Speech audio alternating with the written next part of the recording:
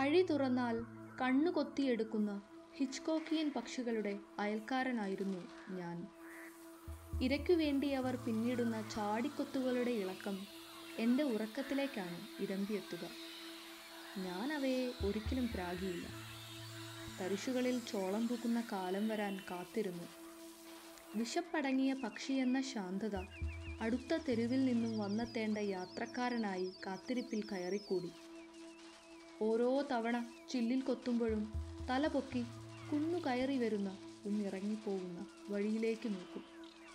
അയാൾ നടന്നെത്തുന്നതേയില്ല. ചിന്നിയ ചില്ലിലൂടെ പക്ഷികൾക്കെന്നെ കാണാം. വിശപ്പോളം ഇര ചെറുതാവുന്ന ദിവസത്തിനായവർ കാത്തു നിൽക്കുകയാണ്. വിശപ്പോളം ഇര ചെറുതാവുന്ന ദിവസത്തിനായവർ കാത്തു നിൽക്കുകയാണ്.